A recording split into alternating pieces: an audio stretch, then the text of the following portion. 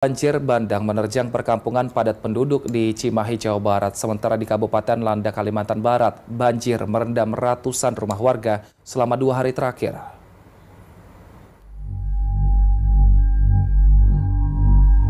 Banjir bandang akibat luapan sungai menerjang kawasan permukiman padat penduduk di Kampung Balimbing, Kelurahan Cipageran, Kota Cimahi, Jawa Barat.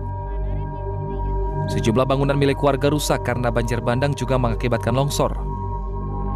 Salah satu bangunan yang rusak adalah sebuah areal mini soccer. Dua bangunan rumah warga yang berdekatan juga ikut rusak. Beruntung tidak ada korban jiwa dalam musibah ini. Menurut warga, ketinggian banjir bandang mencapai satu setengah meter. Benteng penahan banjir di dekat permukiman ikut jebol. Sedikitnya, 10 rumah warga ikut terendam. Warga terpaksa mengungsi ke tempat sanak saudara terdekat evakuasi barang, proses evakuasi barang. Karena banjir. Karena banjir, hmm. airnya, airnya naiknya cepat. Banjirnya baru semata kaki nyampe. Hmm. Dari semata kaki ke selutut itu seperut itu sekitar 10 menit. Hanya 10 menitan. Hmm.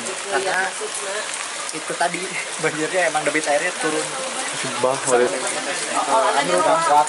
Oh. Jadi surat-surat habis semua pak? Semua habis kan di dalam rumah? Uh, kalau dokumen udah beberapa sama. Hmm tapi ya karena kalau barang-barang kayak peralatan elektronik sebagian bisa hmm. sebagian bisa bisa tapi sebagian enggak tapi alhamdulillah selamat ya untuk keluarga gitu kan semua istri luka ringan oh ada ada luka berarti ya.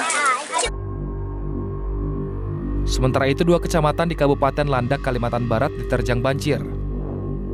Banjir dipicu oleh intensitas hujan yang cukup tinggi dalam dua hari belakangan ini. Dua kecamatan yang dilanda banjir di antaranya Ngabang di Desa Hilir Tengah dan Kampung Raja. Kemudian di Kuala Behe, tepatnya di Desa Setendal. BPBD Kalimantan Barat berkoordinasi dengan BPBD dan Pemkap Landak terkait penanggulangan bencana ini.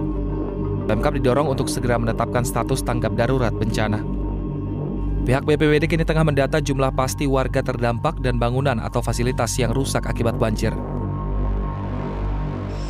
kami sudah mendapatkan informasi dari BPBD Kabupaten Landak bahwa di Kecamatan Ngabang, tepatnya di Desa Hilir Tengah dan Desa Kampung Raja, kemudian di Kecamatan Kuala Behe, tepatnya di Desa Skandal, telah terjadi banjir.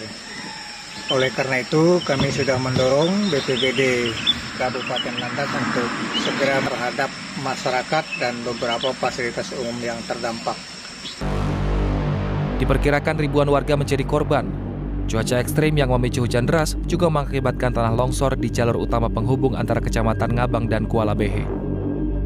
Tim Liputan B Universe.